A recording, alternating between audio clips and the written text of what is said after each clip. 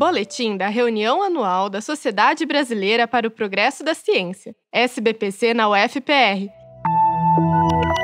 Qual a expectativa de a UFPR receber a reunião anual da SBPC depois de mais de 36 anos? A expectativa é a maior e a melhor possível. De fato, faz muito tempo que a reunião anual da SBPC, que é o maior evento científico da América Latina, não acontecia aqui. A última vez que aconteceu, precisamente, foi no ano de 86, quando eu, inclusive, era calouro aqui na Universidade Federal do Paraná. Eu acho que ela voltar em 2023 para a nossa UFPR recoloca a centralidade do nosso Estado e da nossa universidade no cenário científico brasileiro e dá uma grande oportunidade aos nossos pesquisadores e aos nossos estudantes em formação de receber esse grandioso evento. Meu nome é Ricardo Marcelo Fonseca, eu sou reitor da Universidade Federal do Paraná.